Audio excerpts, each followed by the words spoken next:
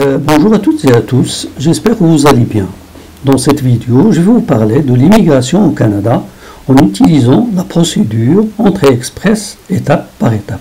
Donc avant d'aller dans le vif du sujet, je vous invite à s'abonner à la chaîne et de cliquer sur j'aime si le sujet vous plaît. Et n'oubliez pas de cliquer sur la petite cloche pour recevoir les nouveautés de la chaîne. Donc euh, je vous conseille de rester jusqu'à la fin pour ne rien louper de ce sujet. Donc euh, voilà, savez-vous bien que le Canada veut attirer euh, davantage de travailleurs qualifiés qui ont au moins une année d'expérience de travail et qui parlent français. Attention. Donc, pour, procéder à toutes les, les formalités de l'entrée express au Canada, vous n'avez pas besoin des services d'un avocat ou d'un cabinet d'immigration. Vous pouvez procéder aux formalités seulement en regardant cette vidéo et en procédant étape par étape comme décrit dans cette vidéo et bonne chance. Donc, euh, qu'est-ce euh, l'entrée express? En fait, l'entrée express, c'est un système que le Canada utilise pour gérer les demandes pour ses programmes d'immigration. Au Canada, euh, au moyen d'entrée express, vous pouvez présenter une demande pour immigrer au Canada à titre de travailleurs qualifiés. Comment ça fonctionne? Alors, donc, euh, pour voir comment ça marche, on va sur mon PC euh, pour découvrir ensemble le site réservé à ce sujet. Donc, on va sur Google et puis euh, on tape le Canada, le Canada vous attend, immigration au Canada. Il est là. Donc, euh, il m'a donné immédiatement le lien. Donc, le Canada vous attend. Immigrer au Canada. Donc, je clique dessus. Voilà. Donc, je clique dessus. Comme, euh, comme travailleur qualifié, le Canada vous attend. Je clique dessus. Alors voilà, donc ici on est sur la page euh, du site du gouvernement de Canada et à travers lequel vous pouvez faire vos démarches. Donc, euh, à travers ce site, vous n'aurez pas besoin de n'importe quel intermédiaire. Vous pouvez le faire euh, vous-même, euh, juste en, essayant de le, faire étape par étape. Donc, voilà. Donc, bon, la première étape, bien sûr, consiste à découvrir si vous êtes admissible.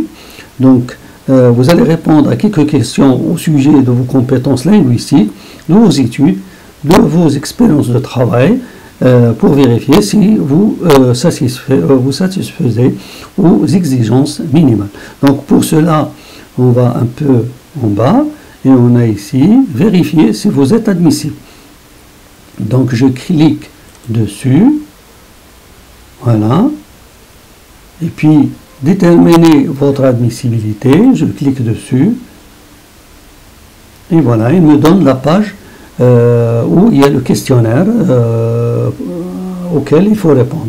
Donc la première question, il vous dit, si vous ne le savez pas encore, choisissez la province ou le territoire qui vous intéresse le plus. Donc vous cliquez ici et vous avez un menu défilé. Euh, défilant. Donc il y a l'Ontario, le, Manitoba, l'Alberta, etc. Vous choisissez euh, le, territoire qui vous intéresse. Et puis vous mettez, euh, vous cliquez sur suivant et ainsi de suite. Vous allez répondre à toutes les questions et puis euh, vous allez avoir un, résultat. Donc moi je vais revenir en arrière pour continuer notre démarche.